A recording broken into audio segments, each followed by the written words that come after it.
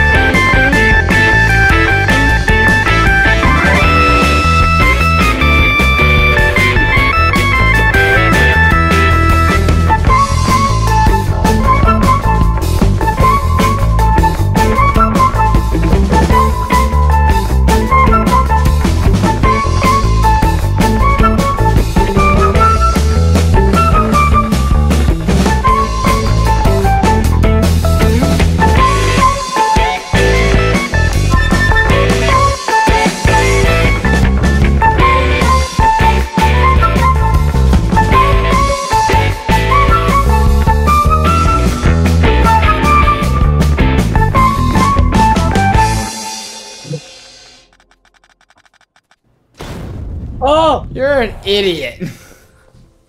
I ran into a tree. You ran into me. I was already off the road.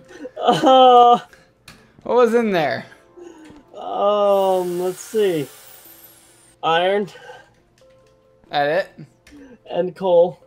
Okay, so we will be back on the next episode because this one was kind of boring, but we had to move everything. Now we have zero carbon footprint though, which is kind of cool. It's kind of like uh, starting over, except it's scary. we're bigger and smarter and all that good stuff, you know? Yep. We use Alright. like particle particles. Yes, we have not made that many issues yet. we'll see what happens. We'll probably have even more monsters than last time. Yeah. Actually, now that I think about it, we're definitely gonna have more monsters than last time. Yep. The area above us is not gonna like us at all. No, we need to get our defenses up firsthand.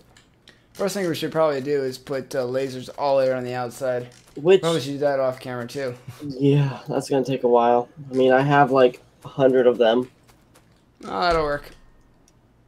And then I'll put solar panels in at some point. Yep. Yeah, it's a work in progress. All right, we'll see you next video. Bye bye. Bye.